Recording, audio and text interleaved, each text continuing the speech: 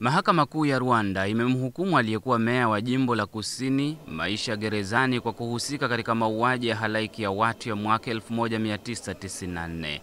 Ladislas Ntaganza aliyekamatwa nchini Jamhuri ya Kidemokrasia ya Kongo miaka mitano iliyopita alipatikana na makosa ya kuongoza mauaji ya kinyama dhidi ya watu kutoka jamii ya Watusi, ikiwemo kushambulia kanisa ambalo maelfu ya watu walikuwa wamekimbilia kujificha.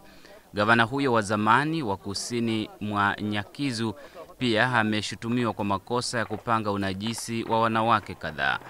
Wapelelezi kuhusu kesi ya mauaji ya watu nchini Rwanda pia walimkamata Felicien Kabuga anayedaiwa kuwa mfadhili wa mauaji hayo akiwa nchini Ufaransa. Kabuga anatarajiwa kusafirishwa hadi Tanzania ambako kesi yake itasikilizwa katika mahakama maalum ya kimataifa. Imeripotiwa kwamba mshukiwa mwingine aliyekuwa waziri wa ulinzi Augustin Bizimana alikufa miaka kadhaa iliyopita.